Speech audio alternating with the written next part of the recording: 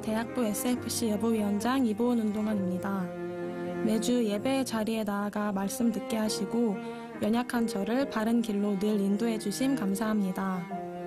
주일 아침에 함께 교회에 올 수 있는 가족을 주시고 아버지 전도를 위해 기도하게 하시니 감사합니다.